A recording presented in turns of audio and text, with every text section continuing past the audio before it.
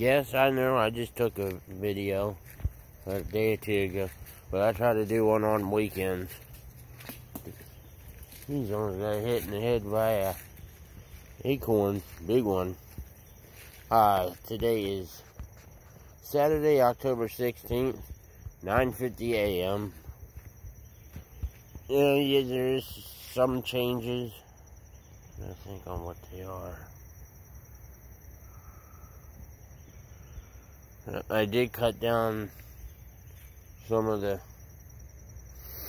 tomato plants, like definitely that one's gotten really shorter. And cut some out of this. I don't know if I removed any more plants since then. I think I just shortened them.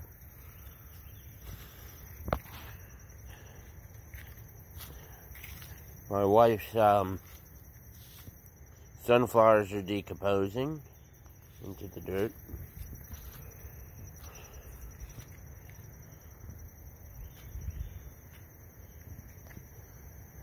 This is really all it's pretty much the same, except that um,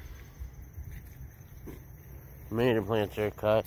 Now these are starting to turn funny. That one might be ready to get picked, maybe. I know that one isn't.